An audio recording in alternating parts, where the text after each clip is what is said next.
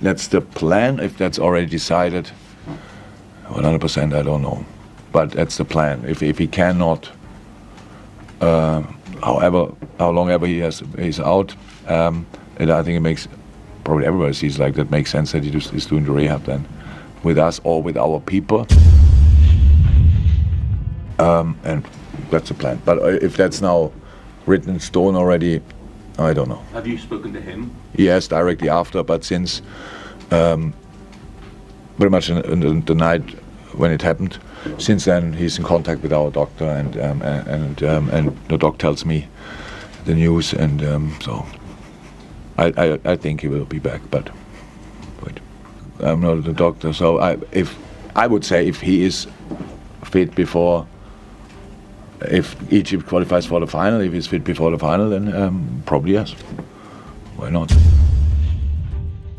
It's clear, it's just the tournament, but it's, now it's about um, Ivory Coast. I'm sure is a wonderful country, uh, but it's probably um, now for players, um, and we have no people from us there, um, and their people have to take care of the players who are playing. So let's see. I said, if I wish you good luck, it would be a lie. Not what I do, obviously, but they, yeah, um, yeah. From, my, from a personal point of view, I would be overly happy if they go out after group stage. But it's probably not possible, so it's fine, and then they can go and win it as well. So you know, good luck. See you, and um, come back healthy. During your last pre-match presser, you demeaningly regarded the African version of Euros AFCON as a little tournament. I think it's an insult to the players, it's an insult to the fans, it's an insult to the people, and it's an insult to the continent. Stop. Stop. Stop. It's all good. It is. It was not. I didn't mean it like that. I didn't mean it like that. I don't know why you understand it like that. To be 100 honest. That was what you said. I listened to the to the press. That was what you oh, said. Oh no, no, I know it. I know it. I know. The Continent in Africa. I'm re I'm really not. It was not even close, and not even my idea in my mind that I want to talk about AFCON as a little tournament or about the continent of Africa like a little a little continent, not at all.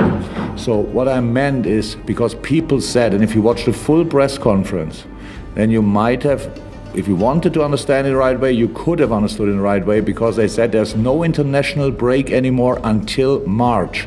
And I said, oh, there's a little tournament in January. And I didn't mean a little tournament, I just mean like you say it when someone, there's still a tournament. It's ironic there's still a tournament, a big one. We lose our best players to to, to, to the African Cup. Well, say that in the Euros. You won't say a little tournament in Euros. So oh, sorry, I'm not a native speaker. I'm not a native speaker. But if you want to understand me wrong, you can do that all the time.